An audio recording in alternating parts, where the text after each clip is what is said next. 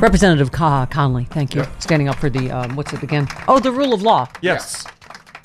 We still have that, don't we? Oh, no, not really. Well, sort it's of. Kinda- More Representative Conley. I think it says a lot, tragically, about the Republican Party that has uh, not so subtly allowed a violent wing of its own establishment to uh, to enter into the temple and to become part of the political environment. That is very dangerous.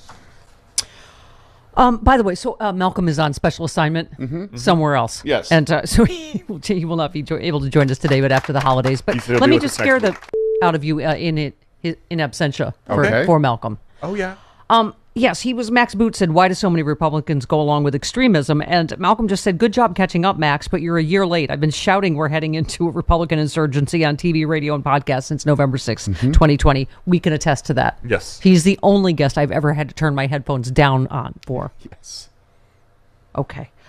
Um, yeah, he, I mean, eh, he said, uh, I call this um, a designated Rittenhouse scenario, what someone was talking about on Twitter, where a group of armed vigilantes would start a fight and then that one guy would open fire once attacked and the rest could open fire in, quote, self defense. I mean, it is really a terrifying Pandora's box that has been opened by this whole Rittenhouse thing because you know people are saying that now. Yes, absolutely. This is open season. Um, he somebody tweeted. Remember when the Black Panthers started arming themselves, and then white America collect, collectively its diaper? Yep. Uh, that's when the NRA supported gun control and the police became militarized.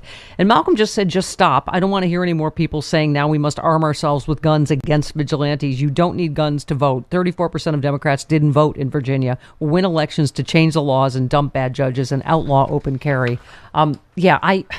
I hesitate to tell people, yeah, arm yourself and go into, a, you know, a dangerous situation like Kyle Rittenhouse did, and let's see what happens, right? I mean, it's Bec- it, it would it would go bad very very very fast, and that's that's the that's the problem with our laws right now. But I yeah. I, I get the open sentiment. carry's ridiculous. Being mm-hmm. able to hit protesters with your car is ridiculous. If you think they're in their your way, these are human beings. That's right.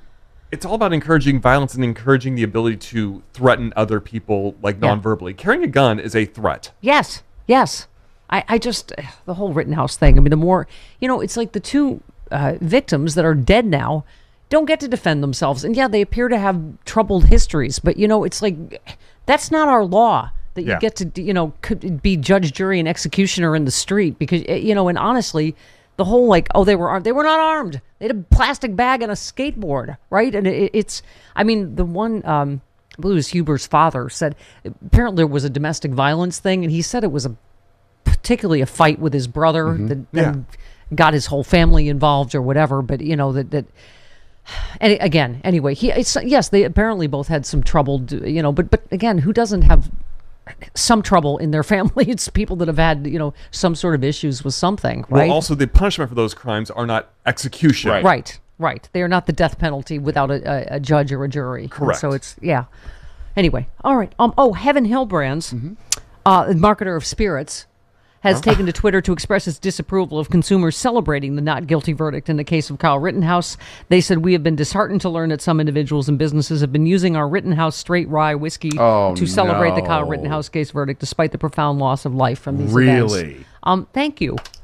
If I drank rye like Kay Rooney, my 1980s New York landlord, I would buy this just because of that. You, you, you missed the most important part. She of that drank story. rye at 11, or no, actually 9 in the morning. didn't she It's invite you up for a glass Yes, of rye? when I come came back from my morning show on Hot 97, everybody. Yep. Eh, you know, about 10, 11 in the morning. Come on in for a glass of rye.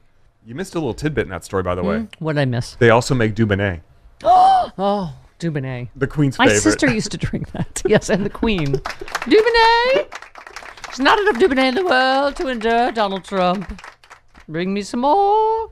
Um. Oh, I did this. Uh, I did this one. Wait a minute for the uh, Patreon show, but I do feel the need before the holidays. Uh oh. You're giving it away for free? December 7th, the day which shall live in infamy, will be my two years. No hooch. Well, you know, I only ever drank wine. I didn't actually ever drink wine. wine. Mom's.